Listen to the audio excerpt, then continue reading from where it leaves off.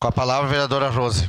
Então, essa emenda também foi debatida, como a CASF, né, essa comissão de avaliação, ela era anteriormente uma para, para cada área, agora foi proposta uma única, maior, com mais membros, uh, para avaliar todos os projetos, e ela é composta por 15 membros, sendo cinco do poder público e 10 da sociedade civil. Uma das preocupações que se teve no debate é que daqui a pouco as 10 da sociedade civil fosse de uma área específica, por exemplo, da dança ou do audiovisual, e que não teriam condições também de avaliar os outros projetos das outras manifestações culturais. Então, nesse sentido, o debate que aconteceu foi de incluir, né? Claro que aqui é uma intenção, numa lei, isso aqui não obriga, mas é uma proposição, um debate que se fez lá, inclusive com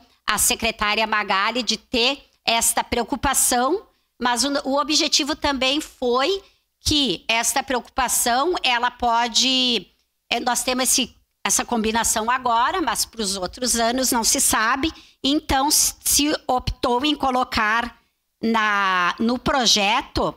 de lei esta emenda que inclui a palavra, a frase, né, optando-se preferencialmente por membros das diferentes áreas elencadas no artigo 3 que são as 10 áreas que eu falei que tem no Financiarte, incluindo todas as manifestações culturais, ou quase todas, que esta comissão tenha representação não de todas, porque também às vezes é difícil, se obriga a toda, são dez membros, falta de um, tu não consegue realizar a comissão. Então, a ideia é que tenha a maioria destas áreas incluídas nessa comissão.